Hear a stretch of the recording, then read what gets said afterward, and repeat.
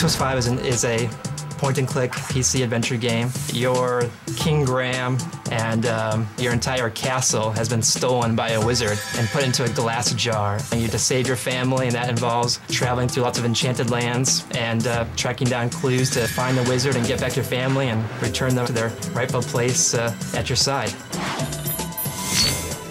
King's Quest V has a really good sense of humor. It's kind of bizarre, but you don't really see that in games now because everything's trying to appeal to the biggest market possible. And back then, not as many people played games, so they could be a bit more witty and use a custard pie to stop a Yeti in the middle of the mountains.